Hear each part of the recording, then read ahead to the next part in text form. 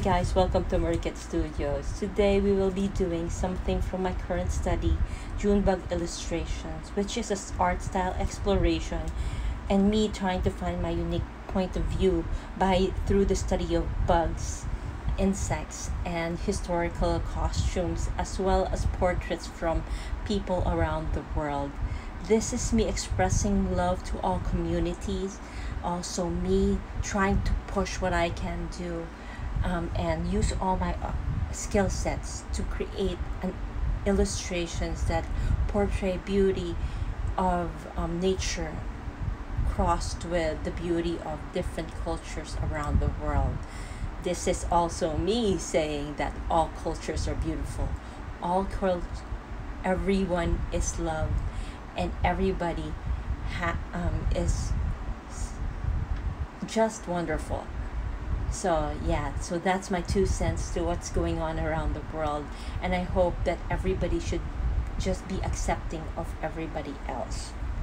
The title moth to flame is taken from um, the design that i thought that because when i first thought about this idea i was thinking a moth. I just want to study a moth and it should be kind of cool to um, bring him into a, a girl's portrait. And the idea and the concept actually came from Reniel Sabulao, a colored pencil artist and illustrator from the Philippines, and also one of my good friends. He is um, he's wonderful. He has unique uh, a unique point of view that I really love. So um, I will link you to his art down below and you should be check him out. He's amazing as well. So the why moth to a flame why this indian bride is because of this picture actually expresses love. There are two sides of love that i want to express here. It is first of all the pure love and the passion of the bride um, who is getting married, who is just full of love and excited to find the love of his, her life. And she is my picture of pure love, innocence, and she is someone passionate. The flame actually represents love, and she is and passion. So that's another thing. And the moth actually represents somebody who is dangerously in love because when you say moth to flame, it is a blind love kind of love. They are so drawn to the flame that they don't even know that their wings are actually getting burned or they're getting hurt or they're dying. So that is another kind of obsessive kind of love that I I just um, thought that would fit this picture well um, I also chose the Indian girl because I think Indian culture is beautiful. Indian clothing, in particular, is exquisite and the designs are sweet. Plus, they also match this painting really well. Well, and this is my special shout out to all my friends and followers who are Indian it seems that I'm getting a lot of love from that side of the world, and I have a lot of good friends, a lot of mentees, a lot of the people who have been interacting with me and liking my art and um, asking me to help them are mostly Indian folk. Um, so, thank you very much to everybody and I hope that this shout out expresses my love and thanks to you guys who always encourage me to do better and to do more with my art. Um, so, this is my love letter to you guys, dedicated to all my Indian friends.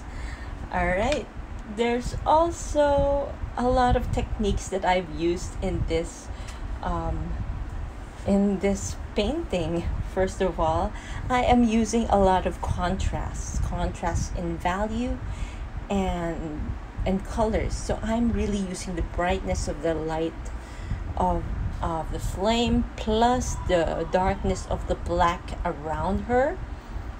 And then her hair is really dark and her eyes are really dark and her her clothing is really bright i wanted to bring those contrasts out because um, if you look at a picture the first thing you look at is the highest point of contrast and that i think will help bring out what you want in a painting. And i want to focus your eyes on the lady on the girl so she's the brightest part of the painting. And yes so thank you Rania for this wonderful idea i am enjoying it as well actually painting and drawing the moth was very challenging. They have really, really, really um, detailed wings. So I have, I was having a hard time kind of figuring out where everything was. This is also the first time with where I did my June bug illustration for two days. I usually do it just in the night, about two hours every night, or at most three or four three or four hours, but never two days. It never took me two days to do this, but I was so that uh, dedicated to the concept, and I wanted to show that. Um, to push this concept and see how far I can go with the details of everything else that I really want to um, uh, make it worth it and i really wanted to um, kind of push myself to the limits as i said before. Um, there i have been practicing portraits a lot and so yeah. Uh, and i'm hoping that i am improving in the portrait um, in the portraits. I'm also using a lot of green to mute the reds um, that I am using and kind of darken it if um, darken it while uh, and to soften it I guess. Another contrast that I used here is the contrast of themes wherein I use innocent and pure love as the themes for this um, painting and I think I portrayed it well. Did I? Can you let me know in the comments if I actually did? Um, my challenges to this painting was the patient to create the designs on the dress and to render all the jewels and the designs properly. Yeah, so actually I have a confession to make towards the end of the video this um, painting. I was losing my steam because i really just want to get her out because she was actually looking really good. The skin was looking really fine. And so i really just wanted to finish everything. So i kind of did um, uh, kind of did a shortcut but you'll see it later but it still looks pretty good for a, a painting that is on a sketchbook. Actually, my problem was also that I was drawing this really small. So my um, the brushes that I've been using were um, were really small and hard to control. And I don't also don't think too much that the details would matter in such a small painting. So I was uh, that's another bad thing about it is that I was assuming that since it's so small they won't see anything. In some cases that's fine but um, in other cases as well you just can't um, you can't half-ass anything. And yeah but I am pretty proud of this piece. It's one of the more detailed pieces I've done.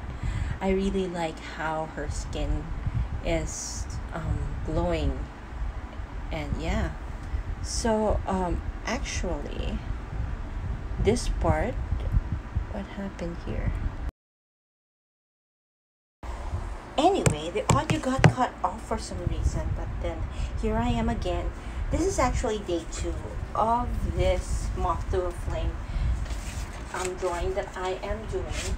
And moth to a flame is actually doing pretty pretty well. We are actually now painting the sari red or have painted the sari red. And I am actually trying to detail now the parts of the sari that needs to be detailed. The thing about this piece is that there are so many minute details that I was really struggling to push and push to the finish to actually include a lot of the design. I have researched a lot of Zari designs and I was thinking what could be the most simplest one that has the most impact and it was really really hard to choose because a they're all beautiful. B the um, the zari designs that i've saw i've seen and were just so complicated. There's so many details and so many little dots and designs that it scared me to I mean scared the living daylights out of me literally. I was um, looking and running away from a lot of the designs that I've seen. But I've seen these these simple dotted designs kind of like small diamond designs on the dress that I really like because that I can do. And then there was also hmm the design for the actual kind of shawl thing that they have where they are wearing it was um i mean the research that i did i was just amazed i mean the craftsmanship of the on these saris are out of this world so i really do love and believe that the um indian costume of sari is one of the most beautiful things I've seen in my life. I mean, I've seen kimonos and I know they a lot of people say, "Oh, kimonos are just gorgeous. They are so beautiful." No. Well, yes, they are in a different kind of way. But in the details that is going into these saris, then the creation of the jewels and the it's just breathtaking. They're out of this world. Now I've moved on to Mr. Moth. I actually lost the reference photo for Mr. Moth. So I had to find a moth that has a similar design to his wings. So I this is me kind of finding um, and creating a moth that would actually fit the theme of the design. And luckily, I found this really pretty orange moth. And he was so furry and cute that I really want to draw him again. And I would probably do it again in another piece. I am actually falling in love with these insects that I have been drawing. Particularly, um, I've been uh, wanting to redraw beetles. Yes, um, dragonflies definitely I want to draw another dragonfly. Uh, mantises. Mantises are amazing. Rango was so much fun to paint and draw. For those who are not in know, I named the piece the um, mantis in the piece Mantis in Bloom, which is in day. Uh, what day was that? Well, in, and anyway, one of the um, pictures in Junebug illustrations Rango because he looks like Rango. But you can actually see him um, during the when I link you down below to the rest of the Junebug illustrations. Anyway, yeah, so these bugs have been interesting to say the least to do and paint. I also am really, really enjoying painting this girl, especially her, especially since she is almost done and I was rushing to get finished so I can actually start another piece um, tomorrow uh, the next day. I just want it over with for some odd reason. I guess it's been overdue. I'm not really used to getting pieces done for two or three days, except if it was as a real piece. Right now, um, you can see I did a boo boo. I actually put black on her face, and you will see me struggle to try to um, recover the skin color. And thank God for gouache because gouache, I, with gouache, I can fix anything, and I'm really not afraid to um, re to layer it down. Uh, so yeah, I'm still struggling. I'm still struggling.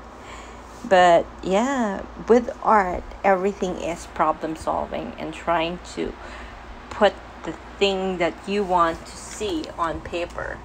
And there's a lot of times where you make boo boos like I just did, or you um, are trying to figure out um, things that you're you want to do and how to put um, 3D to 2D, and that is a real challenge.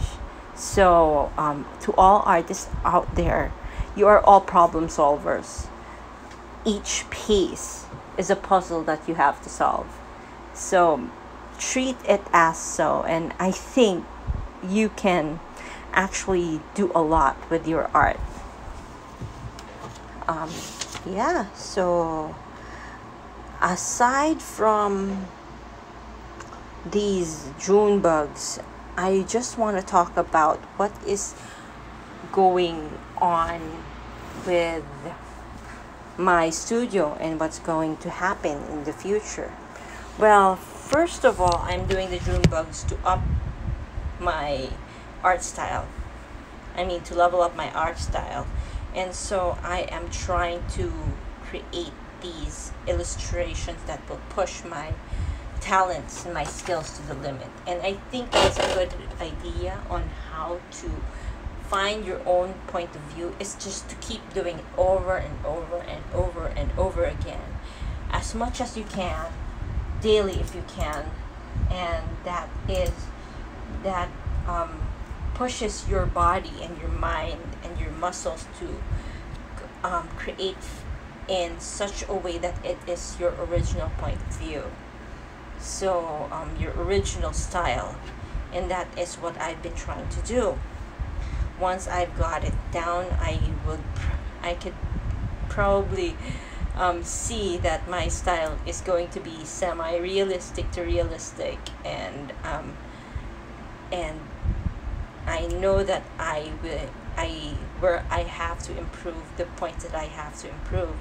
Another thing that you have to do when you're trying to find your style is actually to analyze each body of work that you've done and find where you are lacking. For me, I know I am lacking in the part of clothing. And yeah, so and detailing and patience. Anyway, for the future of this blog, the future challenges that I will have are going to be a lot of anatomy, a lot of plants, landscapes. I have to go back to them. I have to go back to bark but first of all, I have to nail my art style down. So I may do another portrait series, not with bugs this time, maybe with flowers or maybe with um, animals this time, just to push this kind of art style to the limit.